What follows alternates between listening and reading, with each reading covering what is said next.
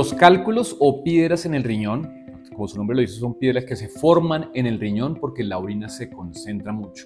El 80% de las personas que forman cálculos no tienen una enfermedad de base que favorezca la formación de las piedras o cálculos en los riñones. Se forman por estados de deshidratación. La gente no toma el líquido suficiente que su cuerpo requiere. La gente piensa que uno se toma un vaso con agua y que uno elimina un vaso con agua, pero esto no es así. Uno pierde líquido en el sudor, en la transpiración y en el metabolismo de los alimentos. Y ya lo que sobra es lo que sale por la orina. Entonces, si la persona hace mucho ejercicio, vive en clima cálido, transpira mucho o tiene un metabolismo aumentado, va a hacer que su orina se concentre mucho. Si yo pongo esta orina en un vaso, esta orina tiene un sedimento. El sedimento se va secando y si fuera un pequeño barro, este barro se va pegando y si fuera una pequeña arena. Y estas arenitas se van pegando y forman las piedras en los riñones. Entonces se forman por un estado de deshidratación.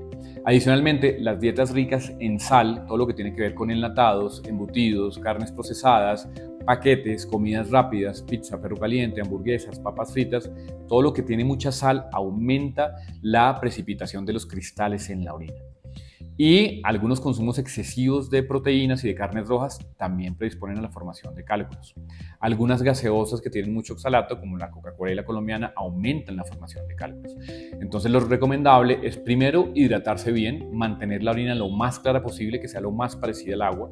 Cambiar el consumo de gaseosas por cítricos como jugo de naranja, jugo de mandarina, limonada y bajarle al consumo de sal y bajar de peso, porque subir de peso también aumenta la formación de piedras en los riñones.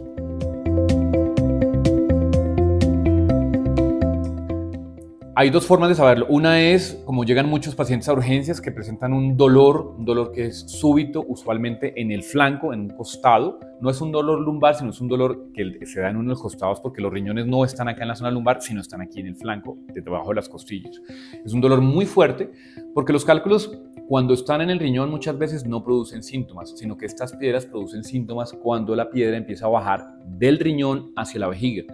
El conducto es muy delgado, entonces una piedra cuando baja llega un momento en que obstruye el conducto y es como si yo cojo una manguera y la cierro y el resto de la manguera empieza a dilatarse, a hincharse. Eso es lo que produce el dolor en el riñón, que es lo que se llama el cólico renal, que es una de las 10 primeras causas de consulta a urgencias en todos los servicios de urgencias en el país y a nivel mundial.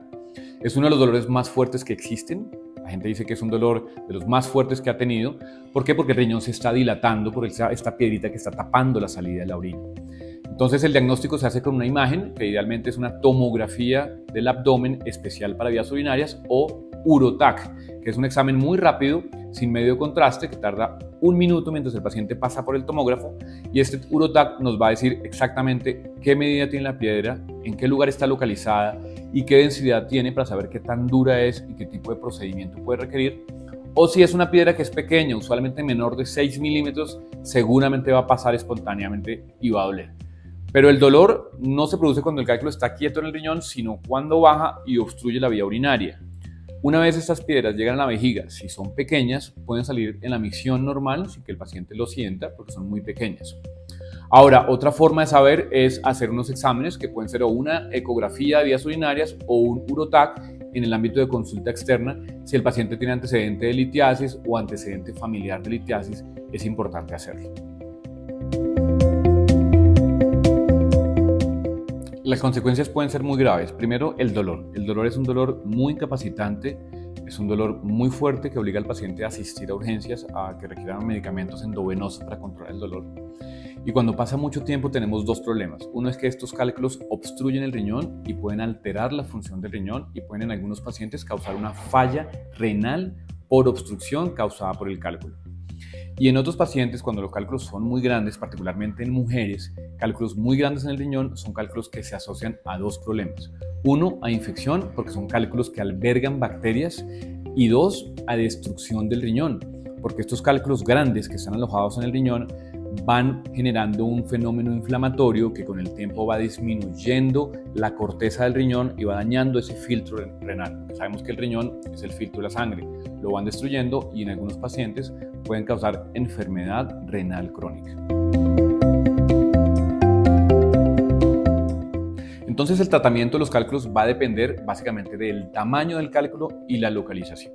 Cuando son cálculos pequeños, como mencionaba, menores de 6 milímetros y están bajando por el conducto que lleva la orina del riñón a la vejiga, que es el uréter, usualmente van a salir espontáneamente, sean medicamentos para el control del dolor y se filtra la orina porque es importante si el paciente expulsa el cálculo o la piedra, guardarla para hacerle un análisis, un estudio eh, físico-químico al cálculo y saber cuál es su composición y ver cuál es la causa de los cálculos. Si es un cálculo más grande que eso, muchos pacientes pueden requerir un procedimiento quirúrgico, que es una cirugía con anestesia general, es endoscópica, no hay ningún tipo de herida, donde entramos con un equipo muy finito a través de la uretra, llegamos a la vejiga, subimos por este conducto, llegamos hasta donde está la piedra y pasamos una fibra de láser y pulverizamos completamente el cálculo. Y si es un cálculo muy grande que está alojado en el riñón, puede que el paciente requiera un procedimiento adicional que es puncionar el riñón a través del flanco con una aguja, entrar con un tubo especial y fragmentar todo el cálculo y sacarlo, que es una nefrolitotomía percutánea. Entonces, en resumen, todo va a depender del tamaño y la localización del cálculo. Estos cálculos no se disuelven con ningún medicamento porque son piedras, entonces usualmente requieren un procedimiento para disolverlos.